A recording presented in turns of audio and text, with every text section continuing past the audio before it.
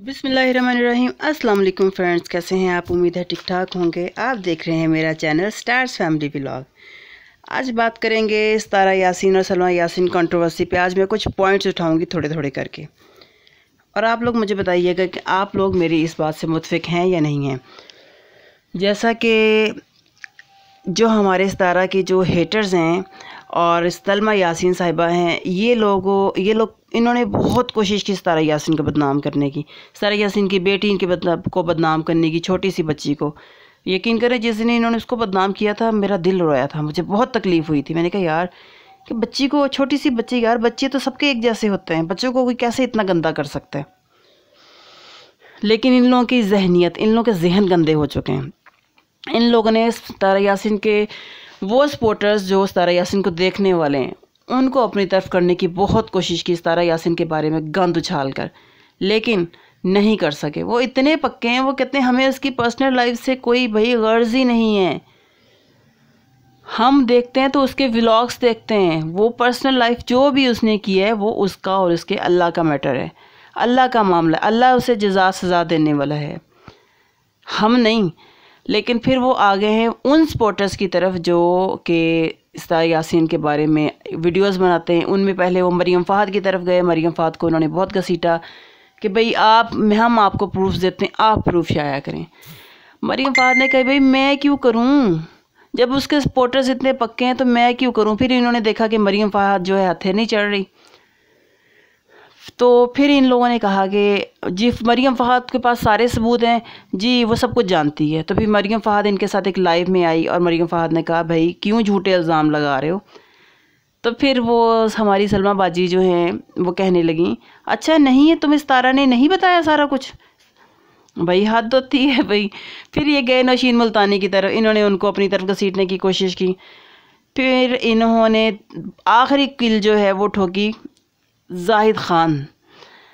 जाहिद ख़ान पठान जो हैं देसी डोज चैनल से, इन्होंने उनको कोशिश की, उनकी लाइव में गए जाहिद ख़ान तो काफ़ी सारी औरतें थीं जिन्होंने मतलब ये साबित करने की कोशिश की उन्हीं प्रूफ्स के साथ, जो पहले दिन से ये घिसे पिटे प्रूफ लेके आ रही हैं, उन्हीं प्रूफ्स के साथ कि किस तरह यासिन जानी है।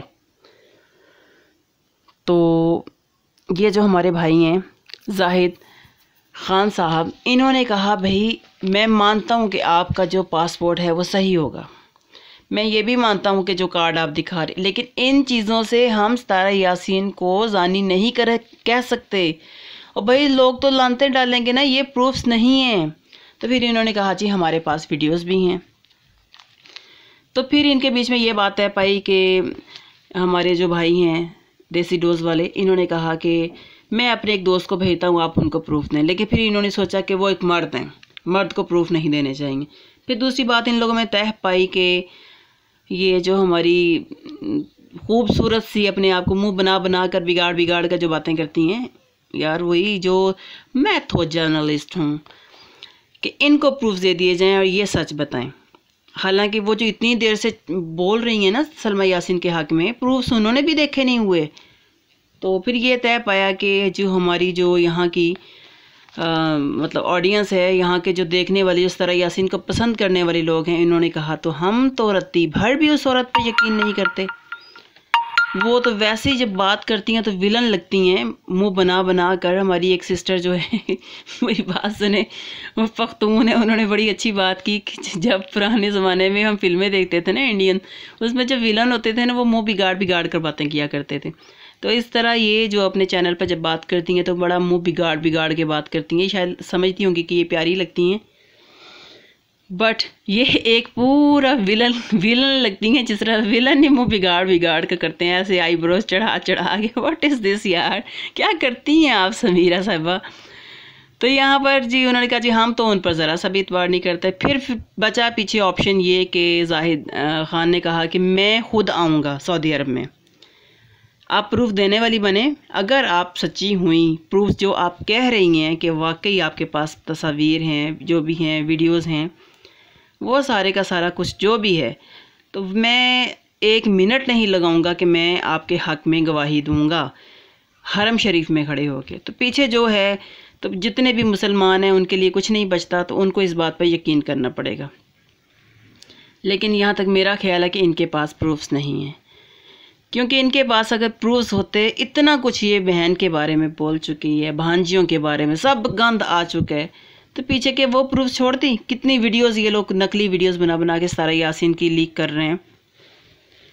तो ये तो एक सेकंड नहीं लगाते भाई, उसको भी लीक करने में। इनका क्या जाता?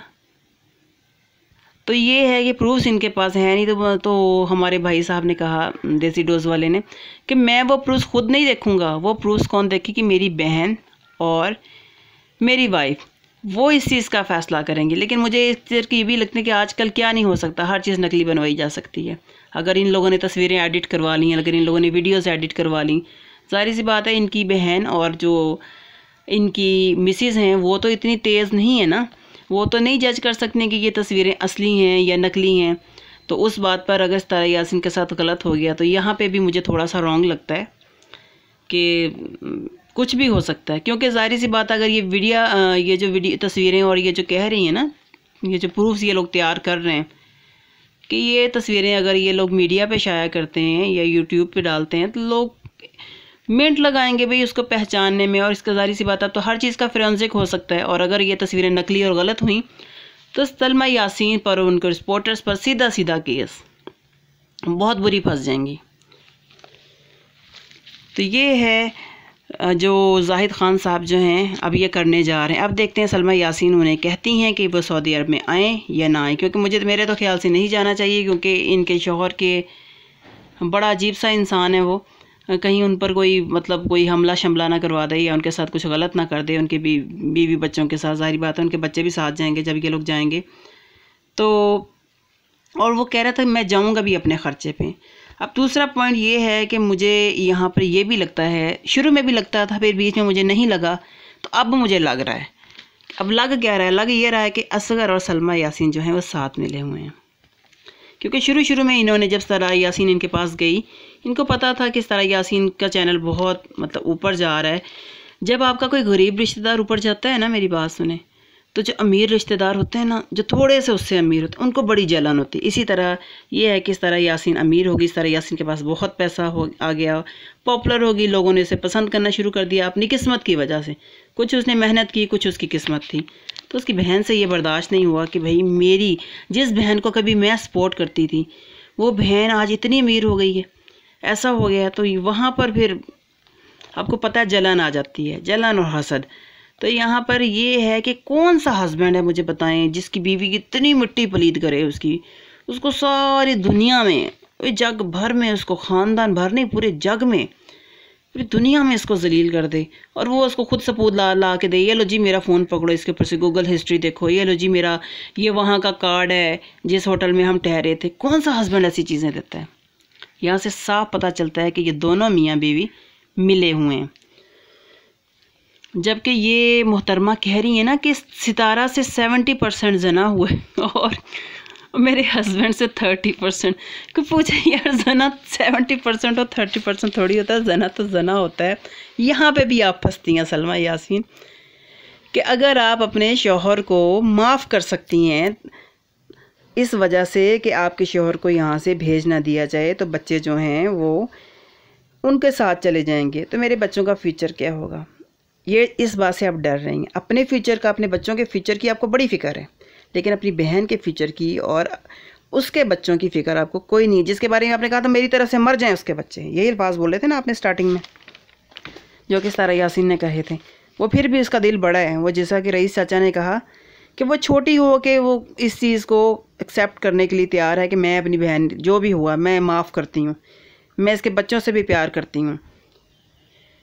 तो मुझे ये है कि मुझे मतलब हर चीज़ ख़त्म करने के लिए रेडी है। लेकिन तुम बड़ी होकर इतना मतलब गंद फैला रही हो यूट्यूब पे, पूरे ख़ानदान को बदनाम कर रही हो। यकीन करें, पूरे ख़ानदान का कोई बंदा इनका ऐसा नहीं बचा।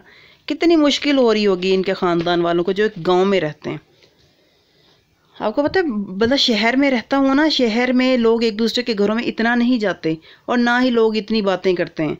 अगर कोई मतलब इशू हो भी जाए ना तो गाँव में उनको ज़ाहिर सी बात है, बंदे ने एक वक्त गुजारा होता है, एक ज़िंदगी का एक तो बड़ी तकलीफ़ होती है जब लोग देख के कहते हैं, ये देखो जी, ये देखो, इसकी बहन ने, इसकी बहन इसकी बहन ने ये कर दिया, इसकी फ़लाँ ने ये कर दिया, इसकी तो जो यूट्यूब पर तस्वीरें आ रही हैं इसकी बहन की, इसका ये हो रहा है, इसकी भांजी की।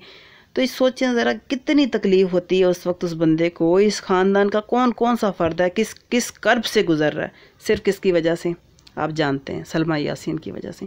इसके सपोर्टर जो हैं, बड़ी साइड लेते हैं इसकी। नहीं जी, सलमा यासीन ने सही किया, जो ये सोशल मीडिया पर ये लेके आई है, ताकि कल को कोई औरत ऐसा ना कर सके।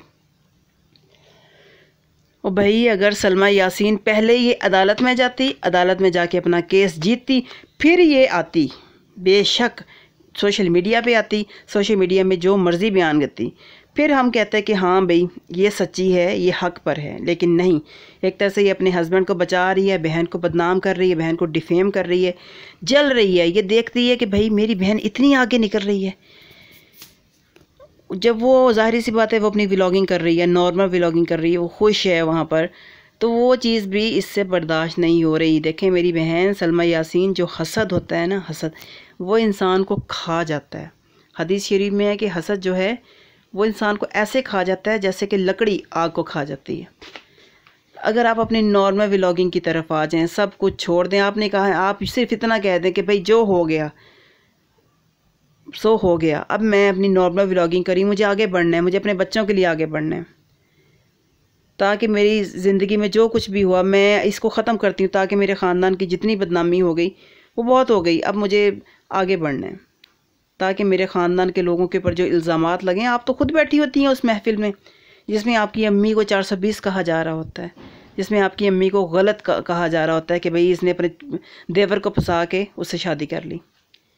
उस महफिल में जिसमें आपके भाई की बेटियों को कहा जा रहा होता है कि आपके भाइयों जो हैं वो गंदी निगाह रखते हैं किसके ऊपर? अपनी बेटी के ऊपर। शर्म आनी चाहिए आपको। यकीन करें, खुदा ना करे, अल्लाह ना करे, मेरे साथ ये मामला होता, मैं तो मर जाती। मैं तो वैसे ही मर जाती यार, कि यार ये क्या हो रहा है मेरे साथ? अल्लाह ना करे कि ऐसा वक्त अल्लाह किसी पे भी लाए। और मैं अल्लाह ना करे कि सलमा यासीन, शायद अल्लाह आपको हदायत दे दे, आप सही हो जाएँ, लेकिन अल्लाह ना करे कि जैसी बहन, इस टाइम आप है ना, अल्लाह आप जैसी बहन किसी को ना दे, ना किसी भाई को, ना किसी बहन को, और ना आप जैसी बेटी दे। और मैं कहती हूँ, आप जैसी माँ भी किसी को ना दे। ये मेरे दिल के अल्फाज हैं। ये बात नहीं है कि मैं सतारा यासिन की सपोर्टर हूँ। बिल्कुल भी नहीं। मैं सतारा यासिन की सपोर्टर नहीं हूँ शुरू से। मैं सतारा यासिन की व्लॉगिंग देखती थी, मुझे अच्छी लगती थी, मैं देख लेती थी। मैं यकीन करें, मैं अपना एक वैसे चैनल चलाती होती थी। मुझे ये था कि मैं जब सतारा यासिन का व्लॉग देख देखना शुरू कर देती थी ना, अगर सामने आ जाए तो मैं कहते हैं ना कि एडिक्ट एडिक्ट होना। तो मुझे वो इतना अच्छा लगता था कि मैं उसे पूरा कंप्लीट करके छोड़ती थी। सिर्फ़ और सिर्फ़ उसके व्लॉग की गर्ज लेकिन जब ये बात खुली, आप दोनों की कंट्रोवर्सी आई, ये सारा मामला खुला, उसके बाद मैंने इस तरह यासीन के हक़ में आवाज़ उठाई। मैं आपको भी यही नहीं कह रही थी कि आप गलत होंगी उस टाइम मैं भी आपको भड़काया गया हो, आपके शोहर की तरफ़ से, आपके और रिश्तेदारों की तरफ़ से आपको भड़काया गया हो। आप गलती पर हों, लेकिन कोई इंसान इस कदर गलती पर तो नहीं हो सकता कि यार, अपनी ज़िद और अपनी अना की तस्कीन की खातिर वो सबको पीछे छोड़ दे। इतना भी कोई इंसान गलती पर नहीं हो सकता। नहीं होता ऐसे। और दूसरी तरफ़ मुझे मामू पे हैरानगी होती है। मैं मामू का भी पॉइंट उठाऊँगी आज कि मामू, ये जो आपके भाई हैं, ये क्या करते हैं यार? एक दिन ये कुछ बोलते हैं। ऐसे तो नहीं ना मैंने इनको बेबो का, वो सॉरी बेबो आंटी का मैंने कहा, इनको मेल वर्जन कहा। ये इनकी हरकतें हैं। लेकिन शायद ये नहीं बोलना चाहते होंगे इस तरह यासिन के बारे में, जब देखते हैं कि स्पोर्टर्स इन पर तनकीद करते हैं। लेकिन ये नहीं ये सोचते, गिरबान में झांकूँ कि मुझ पर तनकीद क्यों होती है? आपको गालियाँ कोई नहीं देता मामू जी। हम लोगों ने कभी गालियाँ नहीं दी, हम आप पर तनकीद करते हैं, वो भी फ़नी तनकीद। आपको तो खुश होना चाहिए कि भाई आपको इस काबिल हम समझते हैं कि आपको, आपके ऊपर तनकीद की जाती है, आपके ऊपर वीडियोस बनती हैं फ़नी वीडियोस बनती हैं। इसमें गुस्सा करने वाली कोई बात नहीं है। कुछ देर खामोश रहें, सब ठीक हो जाएगा। देखें, आपको लोग पसंद करना शुरू कर देंगे। लेकिन नहीं, आप कुछ दिन बाद कोई बात डालते हैं, कुछ दिन बाद आप सलमा की साइड लेते हैं, कुछ दिन बाद आप सतारा की साइड लेते हैं। अब जी, आपने तो हादी कर दिया। अब तो आप कहने लगे, नहीं जी, मैं कौसर मेरी बहन के साथ बहुत बुरा हो रहा है। और भैया आपकी बहन कोई और है। अब एक टाइम पे तो वो बंदा दोनों बीवियों को साथ नहीं लेके जा सकता ना। उसे पता है मुझे कंटेंट बनाना है। वो इसलिए इस तरह यासिन के साथ किया हुआ है। वो गाँव में बैठ के क्या कंटेंट बना सकता है? और आप सड़ रहे हैं उस चीज़ से, मामू। ऐसी हरकतें, आप मेरे ख्याल से इस तारा यासिन के बारे में आपकी फीलिंग्स आती हैं, लेकिन आपकी बीवी जो हैं, आप साजिद भाई को पसंद नहीं करते और आपकी बीवी सतारा यासिन को पसंद नहीं करती। यहीं पर आके आप दोनों का काम ख़राब वो आपको क्या, भरती हैं? बोलो सतारा के ख़िलाफ़। ये देखो, सतारा के तुम्हें जो हैं स्पोर्टर्स आपके बारे में ऐसी बातें कर रहे हैं, आपको ऐसे कह रहे हैं गंदा। तो आप फिर अगले दिन उठते हैं, आप फिर सतारा यासीन के बारे में गलत डाल देते हैं। आपको पता है, आप उसी के सपोर्टर्स लेके बैठे हैं। या तो फिर चैनल बंद कर दें। यहाँ पे ऑलमोस्ट जितने भी सपोर्टर हैं ना, ये आप सतारा यासीन की ही पब्लिक लेके बैठे हुए हैं। मामू जी तो फिर कैसे सोचेंगे कि आप उसको गंदा कहेंगे तो लोग आपको फिर प्यार प्यार देंगे? आप खुद ऐसी बातें करते हैं। क्योंकि इसी तरह बेबो आंटी करती हैं, वो भी एक दिन कुछ बोलती हैं और अगले दिन कुछ बोलती हैं। चलो वो तो दूर की बंदी है ना, बाहर की बंदी हैं, उन